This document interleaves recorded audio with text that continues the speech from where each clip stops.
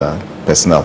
Uh, the other aspects or the other key enabler of the command philosophy is also to ensure that um, uh, the personnel are highly motivated uh, because that's the only way they can perform their jobs uh, you know, more efficiently.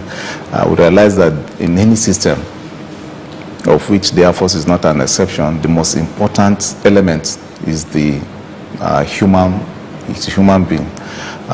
Uh, and as such, we need to pay a lot of attention because uh, empirically it has been proven that um, a very highly motivated uh, individual, even with equipment that are not very sophisticated or so advanced, is able to achieve a lot.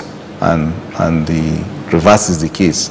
Uh, an individual that is not highly motivated or is not adequately motivated even with very high-tech equipment, very capable equipment, is not able to achieve much. So uh, giving credence to the fact that the human being is actually the most important element in any system.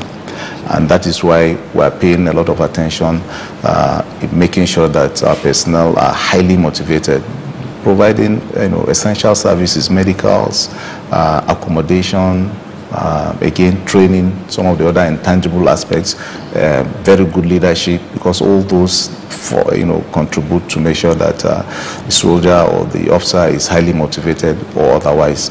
Uh, talking about the capa uh, capability of the Air Force uh, at this time, which areas would